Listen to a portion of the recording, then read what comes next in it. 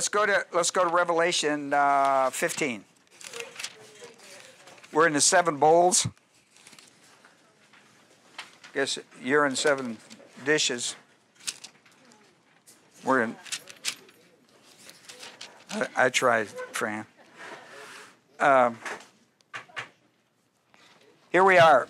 In 15, we're going to read eight verses. Uh, yeah, we'll do eight verses on it. Um,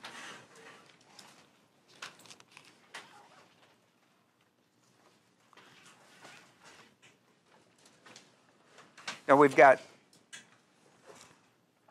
at the top of your paper, we've got we're, we're to study on three sets of divine judgment of the tribulation out of Daniel 9:27. That's where it comes from. We got the seven bowl. We got the seven seals. We got the seven trumpets, and we got the seven bowls. And I listed where they're found in the scriptures, right? At the top of your paper. Okay. Now, like the seventh seal, when you got to the seventh seal, it opened the, the seven trumpets. When you get to the seventh trumpet, it opened the seven bowls. Agreed? Okay. And so, verse 15 is uh, an interlude in the seventh trumpet announcing the seven bowls. And that's where we are tonight in Revelation 15, 1 through 8. And he begins, And I saw another sign in heaven. The girls got you up here if you want to come. Come on. They're, uh, she's got to get a cup of coffee. You just, you wander on back up here, it'll be all right. I saw another sign in heaven. Let me tell you why that's important. We've had, we've had six, uh, we've had seven seals, we've had seven trumpets. How many is that? 14. 14. So we've had 14 signs. And we're about to get seven more. 1 Corinthians 121, 22 tell us what sign who are the signs for? Jews, not Gentiles. Jews. They're for Jews. They're for the Jewish age. These are signs for the tribulation for the Jews. Okay? When we get through with all this, we're going to have 21 of them. And they're going to be ones you cannot miss, right? We've already covered 14 of them. And so we've still got seven more to go. Okay, so he says, I saw another sign in heaven. And he's about to introduce the seven bowls. Great and marvelous, seven angels who had the seven plagues, which are the last. They are the last because in them the wrath of God is finished. And I saw, as it were, a sea of glass mixed with fire, and those who had come off victorious from the beast, that's the Antichrist, and from the image and from the number of his name, you know, that's 666, standing on the sea of glass, holding harps of God. And they sang the song of Moses and of God and of the song of the Lamb. So they're going to, they introduce with two songs and there it is, verse 3 and 4, a song. Okay? After these things I looked, and the temple of the tabernacle of testimony, we call that the Ark of the Covenant, in heaven was opened. In other words, the, the, the temple and the holies of holies in heaven was open, and the seventh angel, who had the seven uh, plagues, came out of the temple, clothed in linen clean and bright, girded about their breasts with golden girdles. And one of the four living creatures gave to the seven angels the seven bowls, the golden bowls full of the wrath of God, who lives forever and ever. And the temple was filled with smoke from the glory of God and from his power. And no one was able to enter the temple until the seven plagues of the seven angels were finished. So we find that word a couple times in there. Then, uh, then chapter 16 is going to list the bowls. We'll go through them. He's going to list all the bowls in chapter 16. Then we're going to have an interlude in 17, an interlude in 18. Um, then we enter into 19. Uh, the first half of the book is four hallelujahs and the marriage supper of the Lamb. The we- I think it's the wedding supper, the wedding supper. And then you're going to have the second coming of Christ. The last half of verse 19 is the second coming of Christ on the white horse, yada, yada. Okay? So let's have a word of prayer. We'll get into this one, the seven bowls. Uh, notice on your paper up there where it says uh, Revelation 15, uh, see the word last? I put it in, in bold print there's a definite article, that's the TAS, means that's the word the in Greek. And eschatos, that's where you get eschatology, the study of the last days. That's where you get that. Okay? Um, so that gets us. Uh, let me let me uh, well let me let's have a word of prayer and then I'll get into the bowls. Okay. This is a moment for classroom etiquette. It's a spiritual book for spiritual people, for spiritual living. The importance of studying and getting divine revelation, enlightenment in your soul, is that it has to be done through the ministry of the Holy Spirit. What would prevent that is carnality. Identity of carnality is personal sin. It could be mental attitude sins. It could be sins of the tongue. It could be overt sins. What do I need to do? I need to confess them. 1 John 1 9 says, If we confess our sins, he's faithful and just to forgive us and to cleanse us from all unrighteousness. And that puts us back into fellowship of verse 1 John 1 5. That puts us back there because of the propitious work of Christ in 1 John 1 7. This is not 1 John 1 9 is not a passage for salvation, but it is a passage for sanctification in the believer's life. In other words, the work of the ministry of the Holy Spirit. This is especially true for Bible study. So I give you a moment within your priesthood of 2 Peter 2 to deal with that and pray that God would teach you important things tonight from the Word. As I've said to these that are in our study, I say to you that are home studying with us, this applies to you as well. Turn off, get, a, get, a, get away from anything that would distract you or cause you to stop in the middle of this study and be distracted. This is your responsibility as a priest.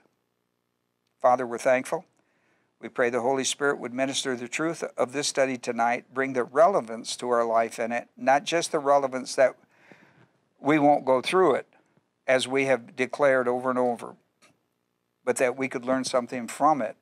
If nothing else, the urgency to preach the gospel because nobody wants to go through this. And if they're saved before the tribulation comes, they will be raptured. If not, they'll go through it. And uh, they've never seen anything like this ever on the earth. Ever, ever, ever, ever. So we've made our prayer in Jesus' name. Amen. Um, I want to show you something that's kind of interesting. Uh, in verse uh, 17 chapter verse 1 it says and one of the seven angels that had the seven bowls. Do you see that? See that? Chapter 17 verse 1 i want to show you something. Now i close this out with the second coming of christ and the battle of armageddon. I close this out i've closed this seventh bowl out in the 19th chapter verse 21 but this angel with the seven bowls, I want to show you something. He is, he is found again in chapter 21. So I want you to look over chapter 21 of Revelation. If you have a study Bible, notice the heading The New Heaven and New Earth. And, in, and, and look at verse 9. And one of the seven angels who had the seven bowls, there he is. He's, he's over there working. Then he's also identified again in verse 15 the one who spoke with me. Now we're in chapter 21 and 22. We're in uh, chapter 20. Chapter 20, we're in the great white throne judgment. And then in 21 and 22, we're in the New Jerusalem. We still have this angel, but uh, but of course the bowl, the bowls are over. But this angel is still working off from that seventh bowl. That's just I'm just telling you that's interesting. Okay. Uh, I'm just telling you that's interesting. Uh, one of the angels with the seven bowls. These seven bowls is the last divine judgment of the tribulation upon the world. Uh, Revelation 11:1. 1. This is right. He said the last right of the wrath of God is finished. Um, this is also the third woe. You remember the three woes judgment? This is the third woe of the tribulation. If you probably don't remember, but the three woes came with the fifth, sixth, and seventh judgment, uh, trumpet, right? First woe. Well, look, in Revelation 8 13, we have the three woes, woes identified with the fourth trumpet. Uh, and then with the fifth, sixth, and seventh trumpets, we got the first woe done, the second woe, and the third one is to come. But the third one doesn't come in the trumpets. Uh, the third one is going to be the seven bowls. Do you understand that? Okay. That's kind of important. I put all the places for you to study, right? I gave all that to you up there. It's, you know, you'll have to study on your own with it. Um, all, almost all students of the Bible theologically, of uh, eschatology, see, this occurs in the last three and a half years. And a lot of stuff has occurred in the last three years. We're at the last of the last three and a half years because the trumpets came in, right? I mean, we've been under this stuff. Trumpet four, trumpet uh, five, six, and seven were all into the last three and a half years, plus the seven bowls. Time we get to the seven bowls, we've been through the seven trumpets. Now it's over. So we know. And so the way this thing is laid out, when when you look, at, this all is going to occur in one chapter, which is unusual right? I mean, oh, chapter 16 covers all the bowls. So, putting all that together, we, we, we believe that these six bowls are going to come in fat and quick successions. In fact, many think they'll be within days or, or simple weeks. Not many weeks either. They think they'll either come in, in, in consecutive days right down the pike or in very short weeks because there's not enough time left. And the way they're laid out, they're laid out very quickly. You got one, two, three, four, five. I mean, they were, and they, you get that when you start reading it. You go like, whoa, whoa, whoa, whoa! It's moving pretty fast here. And and so most people understand that. You know, we're not talking about long periods here. We're talking about really quick stuff happening. So here's the first bowl. The first bowl, the first bowl of judgment is in verse two, it's and it's identified, and this is in um, the 16th chapter, course, verse two. And you will see that skin disease, incurable skin disease, is going to hit him in verse two. First angel went out, and watch for this. Watch just because we're at the last of this. Watch out. The angel is going. This is going to be consistent. He's going to pour out the wrath of God. Right? We're into the wrath of God judgments now. We're, we're in I mean, the, we're at the last, and he's pouring them out. And, and it's interesting that every time it's going to say he poured out something. And um, no matter what it is, it's the wrath of God. And, and later you're going to hear that is the wrath of the Almighty God. Okay? So, and each one, see, like the first angel, he pours out. He pours out his bowl into the earth, and it became loathsome and malignant sores the incur- incurable sores upon men who had the mark of the beast and worshiped him. See? Right? That's the 666 deal. All right, so there's the first one. All right? then the second bowl in verse 3, uh, the second angel poured out on, uh, onto the sea. It became blood like that of a dead man, and every li- living thing in the sea died. Okay? So he's, he's hit the seas. Okay? So we got that.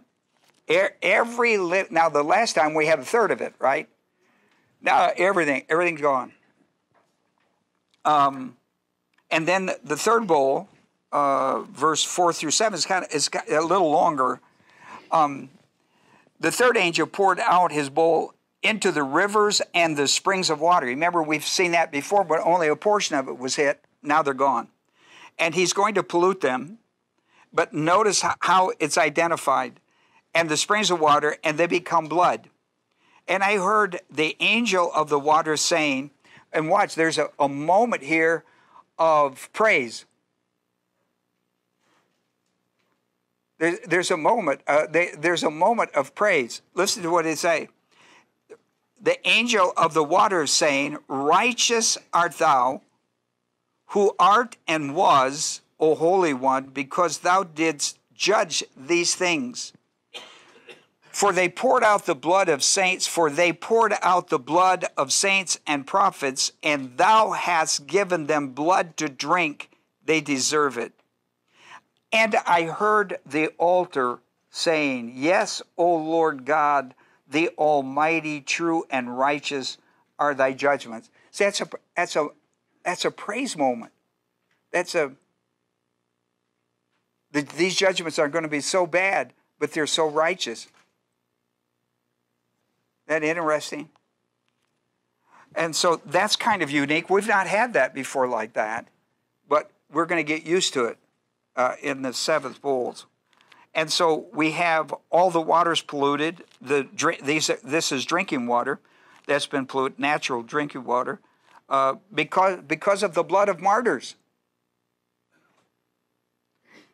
And then we have this special this special phrase of praise of the righteousness and ju- of the judgments of God. And then we have the fourth bowl, uh, verses 8 and 9. And the fourth angel poured out his bowl upon the sun.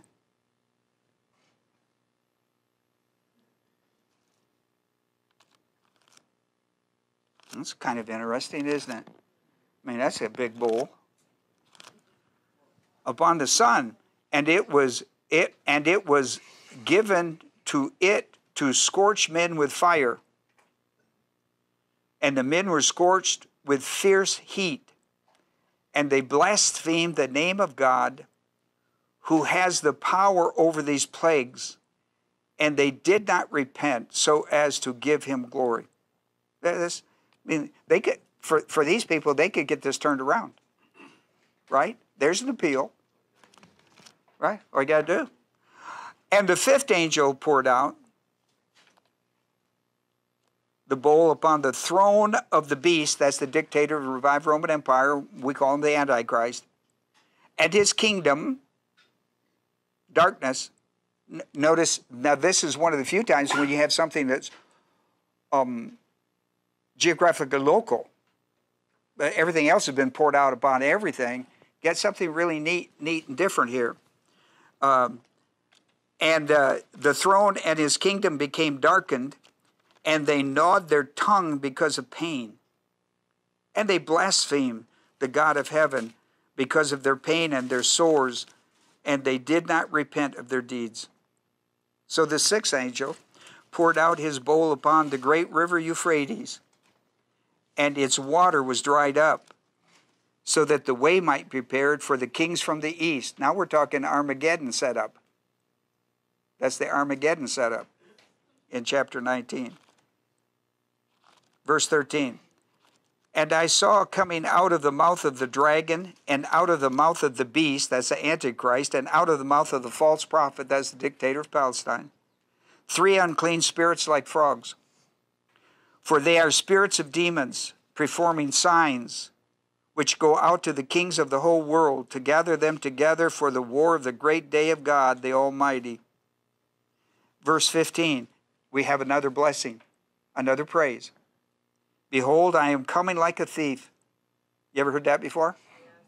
All over the New Testament, Jesus taught this all the time. Like, and I put it on your paper somewhere, like Matthew 24, uh, somewhere, somewhere Matthew 24. And then he says, "Blessed," and and then, then there's another phrase that comes out of Luke 12. Blessed is the one who stays awake and keep his garments, lest he walk about naked, and then men see his shame.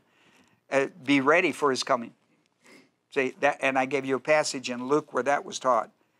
And they gathered them together to the place which in Hebrew is called the mountain Megiddon. See, Ha is the Greek word for mountain. That Har, H A R. And so when you have Armageddon, what they do is they leave off the H. But the true true Armageddon is Ha Mageddon. It's the mountain of Megiddo. Okay? So now we get to the seventh bowl in verse 17. Agreed? Seventh bowl. Let's say I went through the sixth bowl really quick, didn't I? I didn't turn my page. Let me see if I missed. I didn't miss anything. I had it anyhow. All right. Seventh bowl in verse 17 through 21. See how quick this is going? See, and everybody goes like, blah, blah, blah, blah, blah. Right? Just and so everybody understands we're at the end of this thing, and, and it, it's he just pouring it on them, and that's what pour, that's what it really means to be poured out upon. He's just pouring it on them. You know, we say, boy, Alabama really poured it on him. You know, like the last ball game. So that that's kind of the thing we got, and that helps us in our mind kind of get a setting on it. The seventh angel poured out his bowl upon the air and a loud voice came out of the temple from the throne saying, It is done. We're at the, we're at the end of this thing, right? Seventh bowl. I mean, this is it. And, and there were flashes of light. See, we're in chapter 17, and then we're going to have interludes. Um, done. And there were flashes of lightning, sounds, and pearls of thunder, and there was great earthquake. Now, watch, he describes this earthquake. This is a great earthquake. Now, we've had other earthquakes. This, this, when, when God says it's a great one, watch out. And then he describes it. He says, such as there has not been since man came to be upon the earth. Holy mackerel. So great an earthquake was it, and so mightily, mighty. And the great city, that, that's Jerusalem, was split into three parts. And, and we know about this. You know, Ezekiel is going to talk about this and that that's going to be that's going to set up when that occurs at the second coming of Christ. That's going to set up the millennium. You know, we'll talk. I'm going to do studies on this, so we'll talk more about it. And the cities of the nations fell. This we're we're talking all the all the major cities. I mean, every capital went down. Every major city. And you know that would let's say in Alabama that would be Birmingham, Huntsville, Montgomery, Mobile, probably Dothan. No, I don't.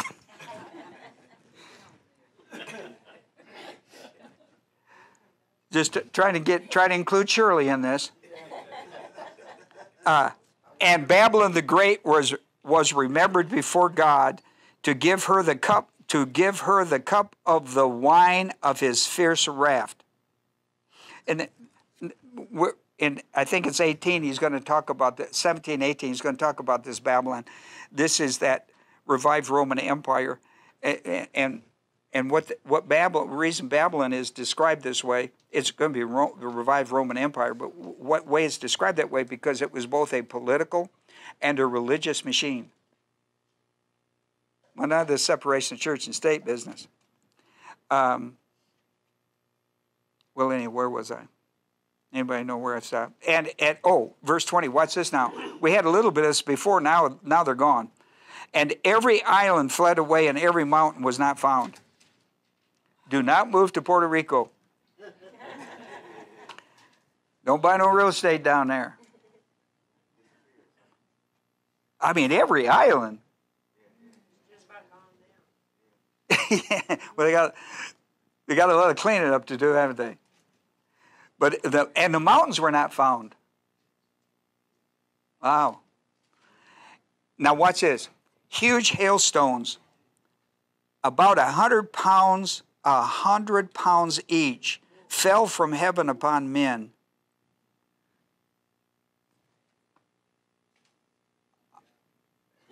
That'd, that'd knock you a little crazy, wouldn't it, Ray?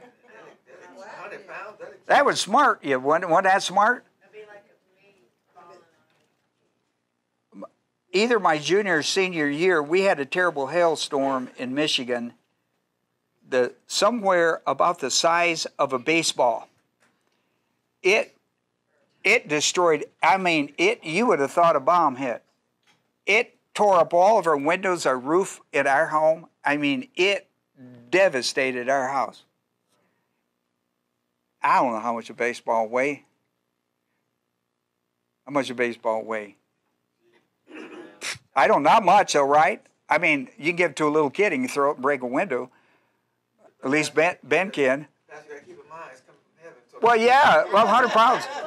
I'm not an engineer, but I know it weighs a lot more when it hit me. What was that car? That semi truck.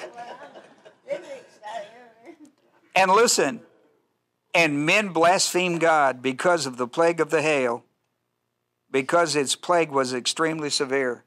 No kidding. 100 pound chunk of ice? I guess so. Listen, that's. And so you have chapter 17, chapter 18 before you get to the second coming of Christ, and you have the first half of verse 19. So we, I call them interludes. They're still part of what's going on, but I call them interludes because they're kind of unique and different.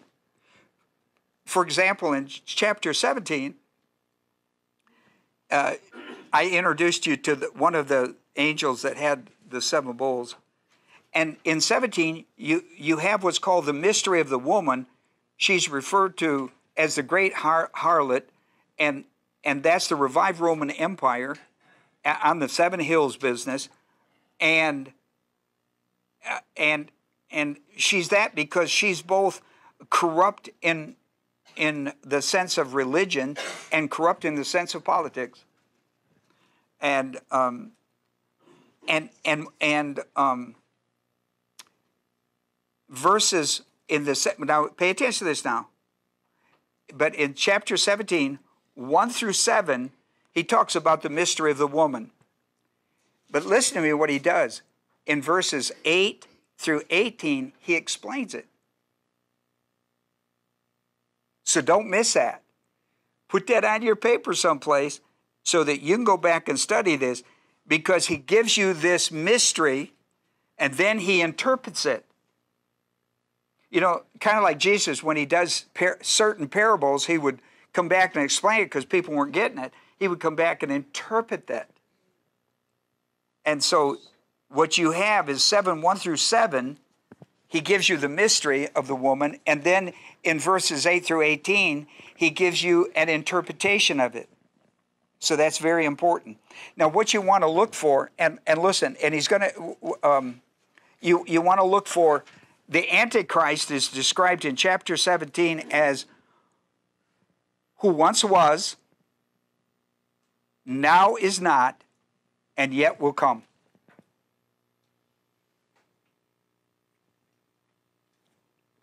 Okay? And if you if you want a good study on your own, go to your concordance in the back of your Bible or if you have a concordance in your home and look up the difference between antichrist and antichrisis. And you'll get an idea what he's talking about. Because today in the church age, there are antichrists running around who are being who are uh, prototypes of the antichrist that is to come. So pay attention to that. That's well worth your time to study. Um, and and listen um, in 17 look at verses i want you to go look at 17 look at 13 14 the rest of this you just study on your own. Uh, we're going to come back and do special studies off of this after we get through the bowls and some of this will be explained, but you, you go back and you look at, I mean, you, you can read as well as I can. Um, verse 13, what says? Uh, he's talking about the Antichrist and his and his kingdom, right? That's gone into darkness and all that business. In verse 13, he says, These have one purpose, talking about the Antichrist and his forces that he has gathered. You know, the other kingdoms that he talked about the three kingdoms, the ten kings, all that business, ten, the ten federations of whatever. They have one purpose. They have one purpose. They, they, they are of one mind. They have one purpose, and they ga- give their powers and authorities to the beast. and this is what their one purpose is. These will wage war against the Lamb, and the Lamb will overcome them. So that, that's the one main goal of the Antichrist. That's the one main goal of Satan, isn't it? So if we know, and we do, if you study the New Testament, we know there are Antichrist out there working on the Antichrist's behalf, setting up his kingdom and his work for this day. Then you know that his one, their one purpose in life is to destroy the Lamb therefore interpreted that is to destroy the church. Agreed? I mean, because he's the head of it and he's the savior of the body of it. And I think sometimes we don't take any of this stuff serious. Oh well, they you know they have their beliefs and yeah yeah yeah yeah, but it's important for you to have yours and to be able to make a stand on it, to be make an intelligent argument on behalf of the truth of the Word of God. Well, anyhow, that was verse 13 and 14, wasn't it? Okay, well, one purpose, and, and that's an important point for us to walk away from here tonight. Then in chapter 18, if you move over to 18, we have this theme of Babylon. Babylon is fallen. And um, you have another another one of the seven angels uh, introduced, not by name or anything, but to this. And the subject is the fall of Babylon. And interesting enough, uh, Peter does something in 1 Peter 3 13. Uh, he refers to the church at Rome as, uh, as uh, uh, from Babylon. Isn't that interesting? I mean, he understood this stuff, um, which is kind of interesting. Now, here's what you want to watch for in chapter 18. Watch for two phrases, and I wrote them on your paper. They're going to fall in one day, in one hour.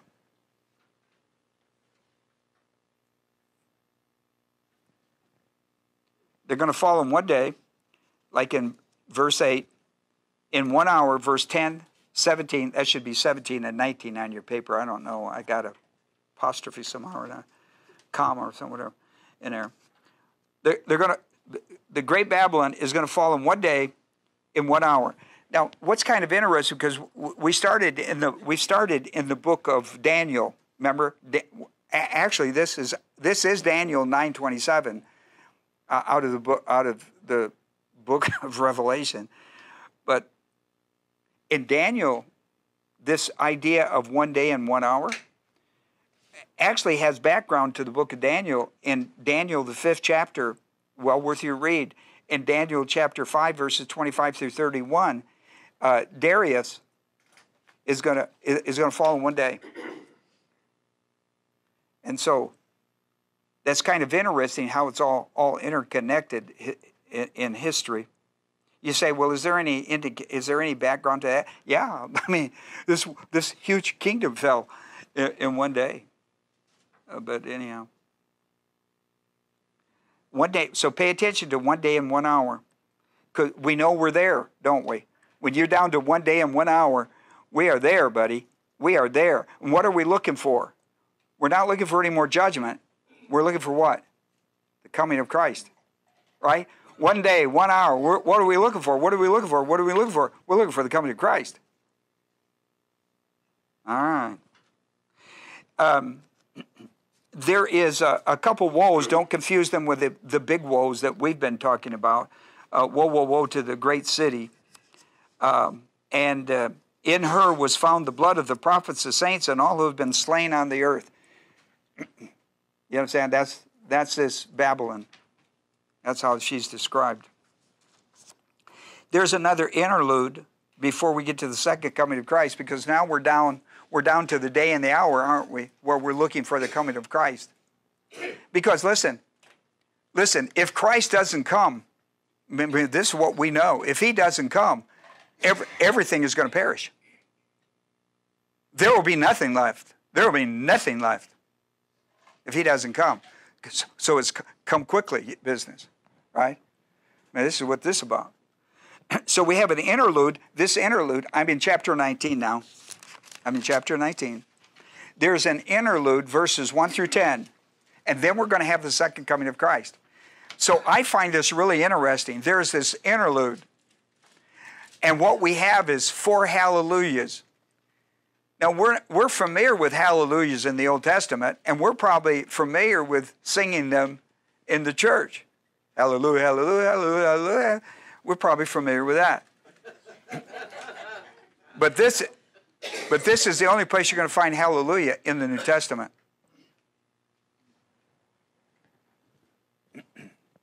And, and, and hallelujah means praise the Lord. Um, but, in, in, but, but what you have is a, this magnificent tribute to God. Well, now, we've seen it already in preparation for this, haven't we? You know, we've seen twice, we've seen, seen a, a, a, in the bowl judgment, we've seen a pause and a moment of, of prayer and praise to, to the judgment of God and a prayer that people would repent. This is serious stuff. And, and, um, and they're not willing at this point. And so the four hallelujahs come out, and I've laid them out there for you. They're well worth your time and read. All right. I don't want to read through them because all I do is read through them and um, I want you to read through them and spend a little time with them because these are magnificent hallelujahs. Praise the Lord. Praise the Lord.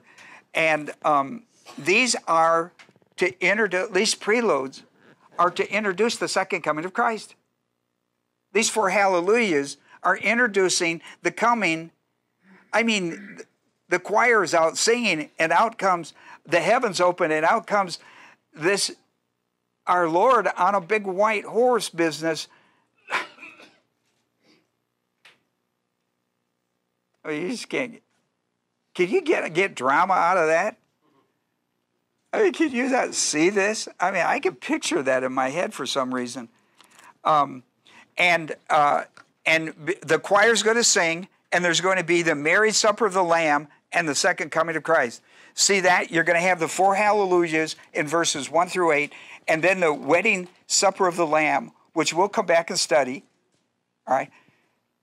I keep telling about how many things I'm going to, I need to start writing these down. How many things, I th- I'm thinking this is going to be a short session thing. And I'm thinking, I keep telling you, well, we'll come back and talk more about it. And, that, and I see you go like, yeah, you, you better. And I know. Uh, well, I have one. It's called the Holy Spirit. And so I depend on him to do a whole lot of things. things for me. But we, but in verses nine and ten we have the, and if you have, do you have a study Bible? It probably says the marriage of the Lamb, doesn't it? Maybe starts back in verse seven, somewhere like that. Right, right. The marriage supper of the Lamb, and so that's verse nine and ten. Right, and and so then we have the second coming of Christ. Let, let, me. I don't know if I wrote this on your paper. I don't see it on mine, so it's probably not yours. I would. I, I would suggest you write this on on your paper at the, at the second coming of Christ. Write down Matthew 24, verses 29 through 31. Uh-huh, 29 through 31. Um, because what Matthew 24 is talking about is what we're talking about here. And so we, eh, we have the second coming of Christ. Um, which is a huge event and small compared to this. And I mean, we've been we've been chapter six to nineteen, and we got the second coming of Christ in verses eleven through twenty-one.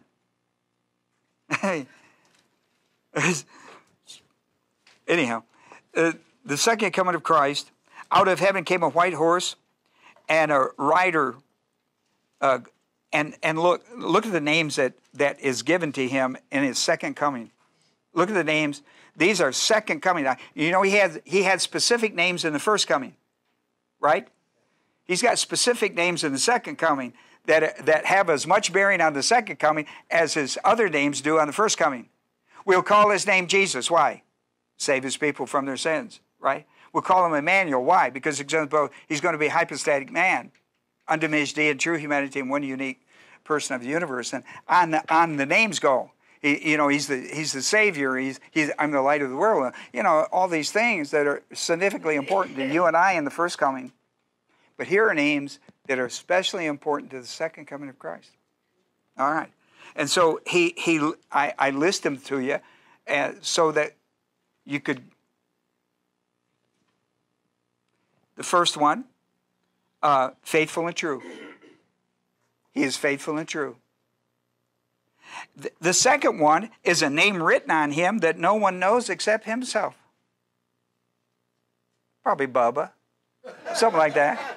Bubba. Something like that. I, I hope I don't have any trouble getting in after that. Say, uh, what did you call him and got a laugh over? Mm, Jesus. No, you didn't. Uh, then uh, the Word of God. He's called the Word of God. The guy on the horse is called the Word of God. And of course, probably the most famous to us is King of Kings and Lord of Lords. Right? He's got special names attached with him that are very important from the that are attached to the second coming of Christ to the human race. Uh, and then uh, he's got an army with him. The army comes out of heaven.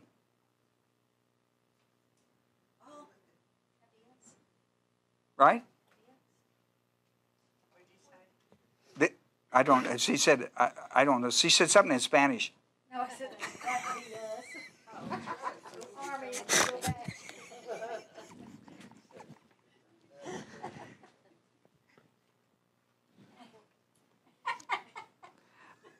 the armies in heaven followed him. Anything to rile Pam up. That's I live for that. Just to rile her up a little bit. Uh, armies in heaven followed him on white horses to wage war. So listen, if you listen this summer, what should you do for a little activity? Learn how to ride a horse, okay? If you don't know how to ride a horse, uh, right? I knew there had to be why I like westerns all my life. It had, there had to be something. Tom Mix and Roy Roger and all these guys. Gene Autry, Lash LaRue. Oh, it's all coming back.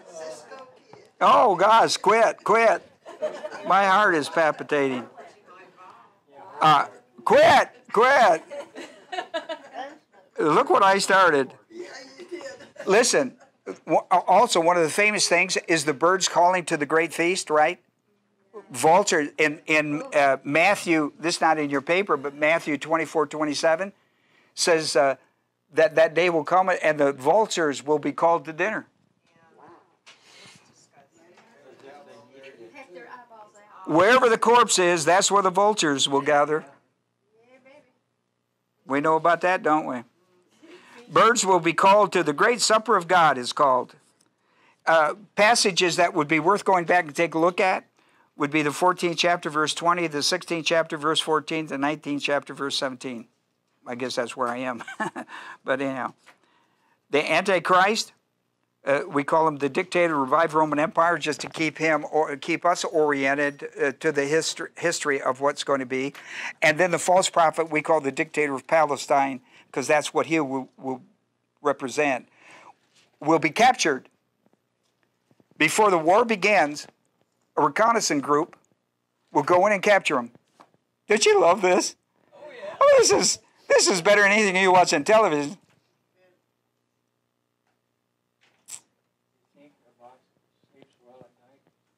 Do what? I don't know, I'm missing something. Help me. Oh, I guess. Um, they captured him. They captured him and threw him in the lake of fire, 1920. The first ones to go. Then the rest were killed with the sword which came from the mouth of Christ. We've seen him do something equivalent to this uh, when he killed 100, uh, 185,000 Assyrians, right? So we know he has this kind of, I mean, he has a, he has a reputation. Um, we'll, you know, I'm just hitting highlights of where the what is in the passage because we'll do a, a more intense study on the second coming of Christ, of course.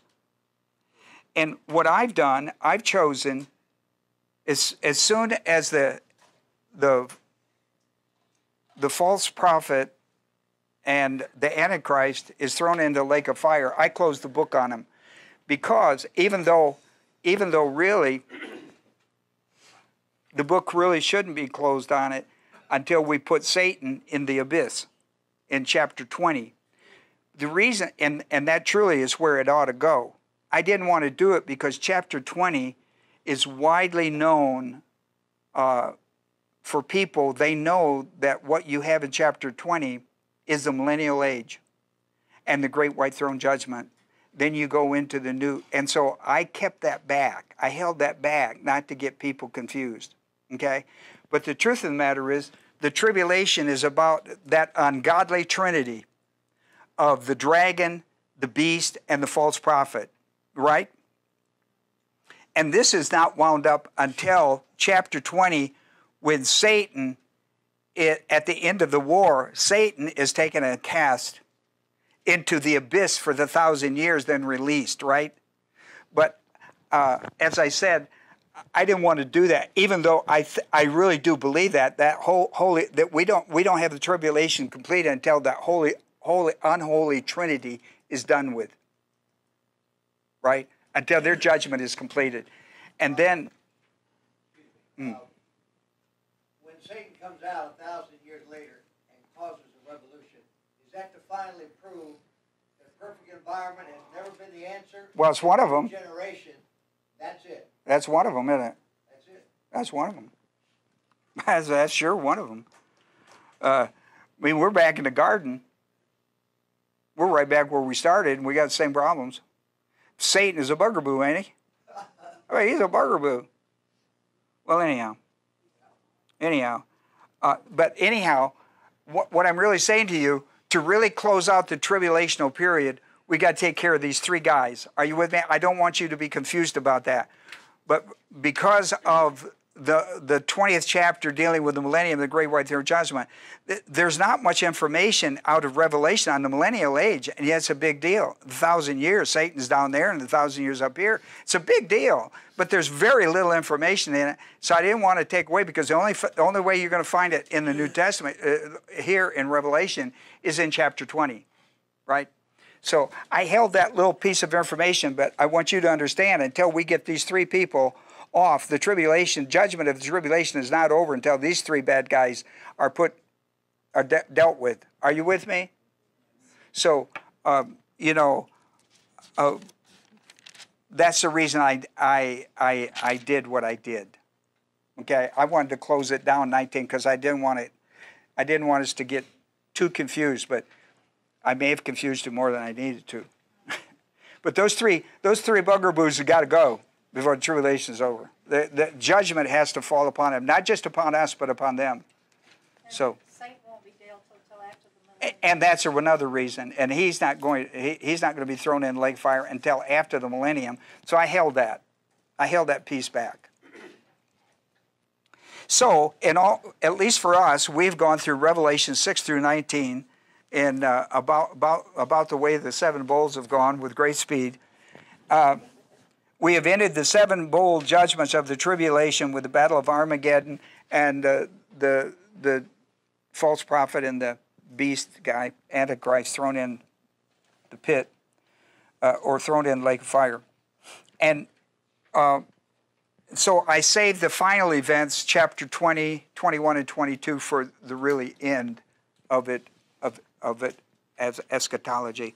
And when we come back, uh, we will begin doing. I want to do a special study with you on the dictator of the revived Roman Empire called the Antichrist. We'll do a special. I want to do a special study uh, uh, on uh, the false prophet and um,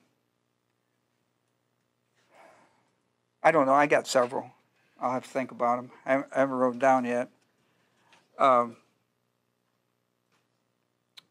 and and if there if there are if there are certain events that uh, you would like me to cover, there I probably co- cover a lot of it with covering different things. But if there are, if you pass me a sheet of paper, I'll see if I can't cover some of that. Like I said, probably a lot of it will be covered by just looking at different things. Like we'll cover the millennium, we'll cover the the second coming of Christ in more detail. Um, you know, the marriage supper of the Lamb. We'll cover that. We'll, we'll cover some of the biggies that are out there. People go like, "What about this? What about that?" I'll cover some of the big stuff, and then uh, if there's anything that I've missed that you would like to know about, why we, we can sure do that because. Whew, I don't know the last time I went through eschatology. It's it's been a long time. And I'll tell you, it's not that I don't think it's interesting. I don't think it's relevant to the church. As a pastor, I, think you should teach it. It's on the website, you can certainly pull it down and study it. But the reason I don't do- do a lot of teaching on the second coming is because as, as a pastor, a practical pastor of a congregation, they've got so many problems that need to be dealt with in their in their life, in their families. They've got so many de- issues that need to be resolved now that I feel I feel overwhelmed by that to teach, teach, teach on that, that we can keep our head above water in the church age. Because we're not going to go through any of this. I, I know it's I know it's kind of it's kind of wretched uh, when you stop to think about what's going to happen, but it is part of the real deal. Yeah, yeah, I know. Yeah, but it is part of the deal. So we're going to look at some of the highlights, and we're going to look at some of the things that are important. And um, as John Dyer says, let's get them and let's put them in archives so that people that are left can pull them down and read them and say, "Oh, this is why I need to get saved." so John's thinking ahead with all these tapes uh, that we got. So, so let's close this out with a word of prayer, and then we'll have our our our prayer as a group. Our Heavenly Father, we're thankful today for these that have come to study with us on this subject matter, and we do know it's important because the message is salvation. And boy, the power of evil over people's lives is another message that's seen here. I mean, throwing a hundred pound hails stones out of heaven and it won't cause them. I mean, that's, I mean, I don't understand that. So, I pray today we would understand. You won't go through any of this if you believe that Jesus died for your sins, was buried, and raised from the dead the third day. Because the power of salvation is in the gospel to those who believe. Romans 1:16. Because we're saved by grace. Saved by grace through faith. And that not of ourselves is a gift of God, not of works, lest any man should boast. So if there's a good reason to get saved, is because we don't know when the rapture of the church will come, but when it does, the tribulation will begin. Daniel's 70th week of the ninth chapter, verse 27, will become the reality of life in the world, not in just one region, the world. Always the phrase, the earth, upon the earth, upon the earth, upon the earth, upon the earth. So I pray, Father, the people that hear us wherever they live would celebrate their salvation through the work of Christ on the cross, burial, and resurrection by the power of God. That power lives in us through the Holy Spirit. We need to be people about the Lord's business. We live in treacherous times that are coming. We need to em- en- encourage people to step out of darkness into the light into salvation. And we need to do it today in Jesus' name. Amen.